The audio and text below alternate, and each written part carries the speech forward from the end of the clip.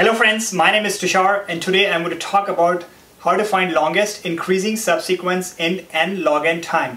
So in another video I talked about how to find longest increasing subsequence in n squared time using dynamic programming. Then a lot of viewers uh, told me that there is a faster method and some of them asked me to explain that algorithm. So in this video we're going to talk about this algorithm. So what is longest increasing subsequence? What is a subsequence? A subsequence is a sequence in an array which might not be contiguous. So a longest increasing subsequence is to find such a subsequence which is increasing in order. So the longest increasing subsequence in this array is uh, minus 1, 2, 3, 7, 9 and 10. So its length is 6 and the elements are minus 1, 2, 3, 7, 9 and 10. So in the next section let's look at how do we find this longest increasing subsequence in n log n time. So I'll take two temporary arrays T and R. T is going to store the temporary intermediate results while R is going to store the final result.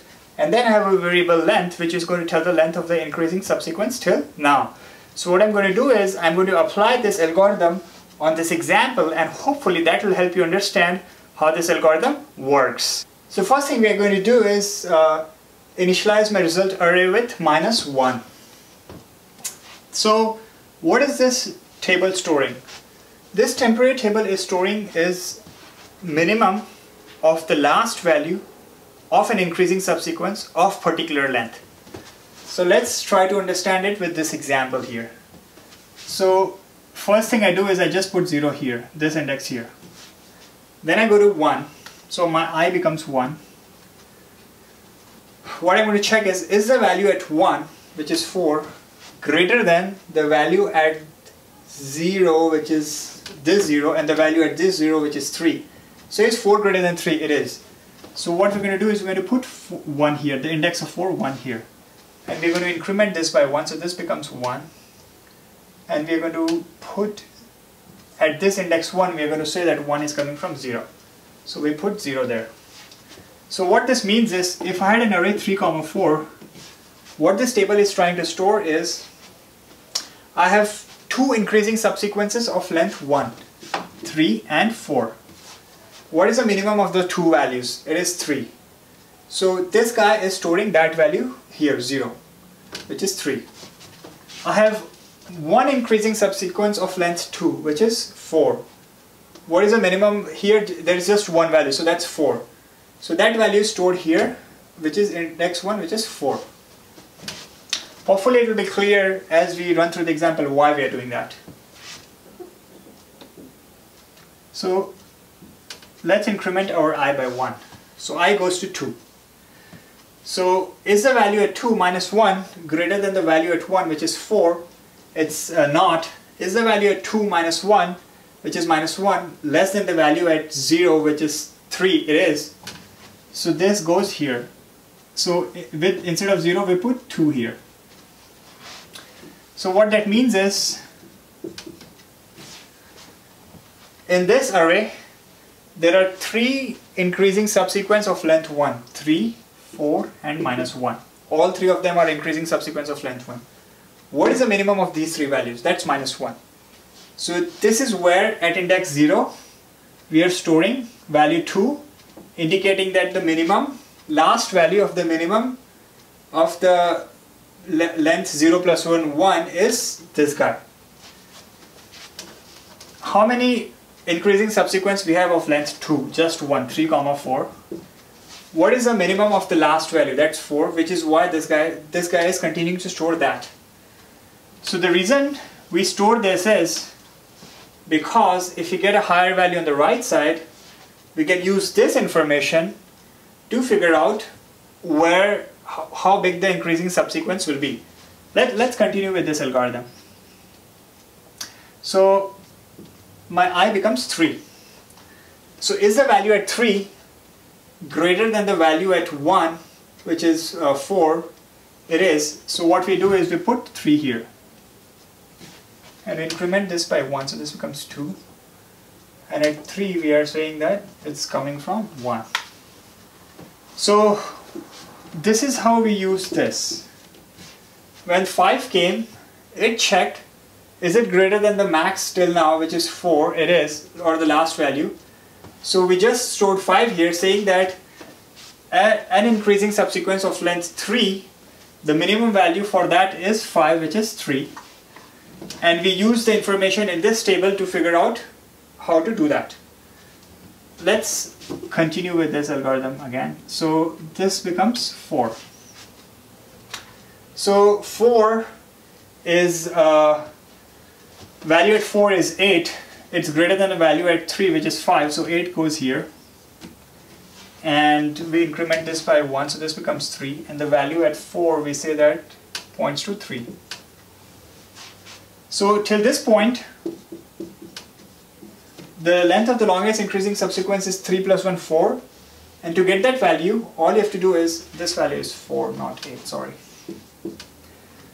The index of 8 which is 4 so all you do is go to this 4 so this is the answer 8 then follow this value 3 so you go to 3 3 is in the answer 5 value follows 3 value 1 1 is the answer 4 and then follows 1 value 0 so 3 is an answer and 0's value is minus 1 so you stop Let's increment our i by one more. So i becomes 5. Is the value at 5 2 greater than the value at uh, 4 which is 8? It's not. Is the value at 5 2 less than the value stored at, uh, stored at 2 which is minus 1? It's not. So value at 5 is somewhere in between. Notice this is a sorted array. I mean the values of this is sorted. The value at 2 is uh, minus 1. Value of 1 is uh, 4 value at 3 is 5 and the value at 4 is 8 so notice how this is sorted. So what we're going to do is we're going to find the ceiling of 2 in this array and replace that value with 5 so ceiling here will be at this point. Ceiling of 2 in this array is 4 so at 4 so at 1 we put index 5 and from 5 we are saying that 5 is coming from 2 so this is 2 here. So if my array was 3 4 minus 1 5 8 2 the minimum value for the longest increasing increasing subsequence of length 1 will be 2 which is minus 1 the minimum value for the increasing subsequence of length 2 the minimum of the last value for the increasing subsequence of length 2 will be 2, this guy. The minimum value for the length for the last value of the increasing subsequence of length 2 plus 1, 3 will be 3, so that's 5. And the minimum value for the length of a last value of the length of subsequence of length 3 plus 1, 4 will be 4, which is 8. So we still store that information in this array. So next, let's go to 6. So 6 is uh, value at 6 is not greater than value at 4 and the value at 6 is not less than the value at 2. So it again falls somewhere in between. Let me put the values of this guy again here. 5 is uh, 2, 3 is uh, 5 and eight, 4 is 8. So again we do a binary search here to find the ceiling of 3. So that is 5. So what we're going to do is we're going to replace this 3 with this 6. And in the 6 we are saying that in the 6 we're going to put this value here so that's 5. Now let's increment it one more. The value at 7 is 12 greater than the value at 4 which is 8. So we directly put this guy here, we increment this by 1 and at 7 we've put 4. Value at 8 which is 7 uh, not greater than value at 7 which is 12 value at 8 is not less than value at 2 which is minus 1 so it got to be somewhere in between. So we find for the ceiling and the ceiling for this will be 4 so we replace this with 8 and from 8 we are saying it comes from 6 the value of this guy value of this guy. And finally uh, let's introduce 9 so 9 the 9 is not greater than uh, value of 7 which is 12 and it is not less than value of 2 which is uh, uh, which is minus 1 so we look for the ceiling of 9 here which will turn out to be 12 so replace this with 9 and then the 9 we say that it's coming from 8 and finally value at 10 is uh, greater than the value at 9 which is 9 so we put 10 here and increment this to 5 so and increment and put the value 9 here. 9 is coming from here. So this is it. This is how we applied the algorithm. This is the length. Length is the length of my increasing subsequence will be 5 plus 1 6 and to find the actual value we go to this guy 10 so you go to 10 so 10 is the answer. So, so value at 10 which is 10 is the answer. Then you follow 9 so you go to 9 so 9 is in the answer. Then you follow 8 so you go to 8 so 7 is the answer. Then you go to uh, 8 so you follow to 6 so 3 is, uh, 3 is in the answer. And then you follow 6, so 2 is in the answer. And then you follow 2, so uh, then you follow, uh, then you follow, uh, sorry, it, you followed 6 to 5, and then you follow 5 to 2, so minus 1 is the answer, and then you follow 2 to minus 1, so we stop at that point. So this is your longest increasing subsequence of length 6. The runtime complexity is pretty straightforward. For every element, what we're doing is in the worst case, we'll do a binary search in a tree which is also of length n, so the runtime complexity will be n log n. The space complexity is O of n to store this result and this result.